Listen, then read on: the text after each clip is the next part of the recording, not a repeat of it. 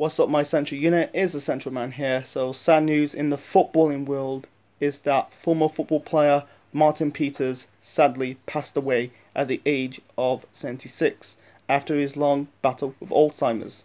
Martin Peters used to play for West Ham United, Tottenham Hotspur, and the England football team.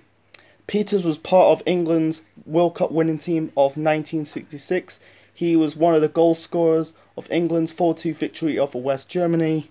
Thoughts or prayers go out to his family. So what is your thoughts on the passing of Martin Peters?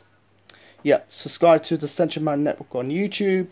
This is the Central Man officially signing out.